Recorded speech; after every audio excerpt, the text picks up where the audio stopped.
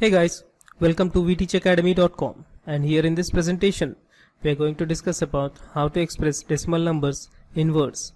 So let me explain you with an example over here. So let us consider this decimal number and express this in words. So this can be expressed as 4.1.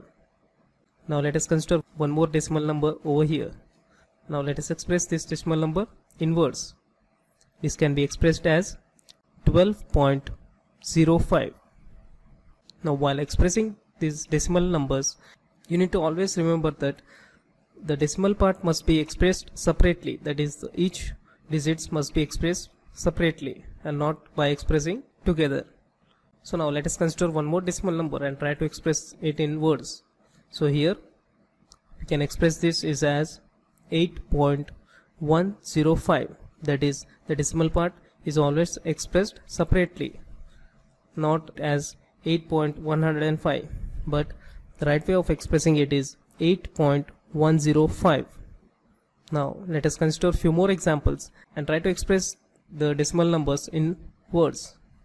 Now here we have four decimal numbers that is 0.4 2.15 0.059 and 75.205 now here in the first example where we have no whole number part hence we can write down 0 in the place of whole number part over here. And in the third example also we can write down 0 before the decimal point. Now here in the first example we have one decimal place. In the second we have two decimal places. And third and fourth have three decimal places over here. Now let us express them in words. Coming over to the first example this can be expressed as 0.4 and now coming over to the second example this can be expressed as 2.15 that is decimal part always must be expressed separately. Coming over to third example this can be expressed as 0.059 so similarly let us consider the fourth example. This can be expressed as 75.205 you cannot express this as 75.205 but the right way of expressing this is 75.205 that is decimal part must always be expressed separately.